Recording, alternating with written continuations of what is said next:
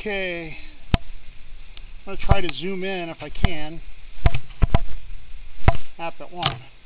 Right up through the middle you can hear it and you can see the water running right through the middle of the waterfall.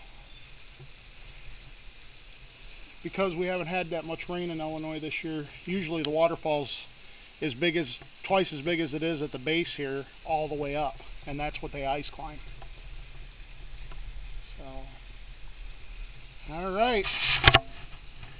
Well, Lexi and I are going to head up to the lodge and take some pictures there. We're standing on about three feet of ice.